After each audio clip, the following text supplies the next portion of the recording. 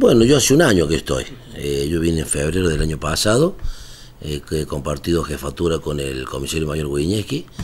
Es para nosotros es una gestión excelente. Eh, él podría hablar un poco más porque hace cinco años que está en la departamental. Él vino como comisario inspector, pero su gestión ha sido muy buena, muy bueno. Se ven a la vista, se ha hecho muchas obras, la movilidad, la gestión con, el, con la sociedad. Así que yo calculo que es muy positivo lo que se ha trabajado. Yo lo que puedo hablar por un año y si hemos, hemos trabajado permanentemente en conjunto con él, de sus cinco años ha sido muy bueno. Si usted tuviera que calificarlo, decir cómo queda la departamental hoy y cómo va a ser recibida por los nuevos jefes, ¿qué, tendría que decir?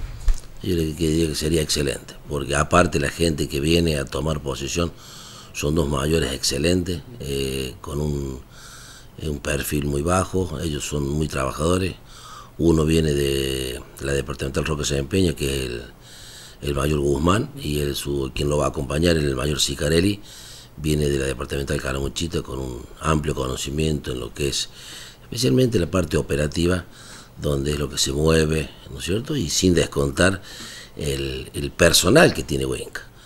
Eh, Huenca tiene un personal excelente, eh, no, no le voy a decir lo que es para ustedes Jorge Giacusa, lo que es el comisario Álvarez, eh, Murialdo, y son los oficiales jefes que quedan, y Pascual. Eh, ellos son conocedores, son trabajadores, se han puesto el uniforme las 24 horas, así que de más le voy a decir lo que ustedes lo saben.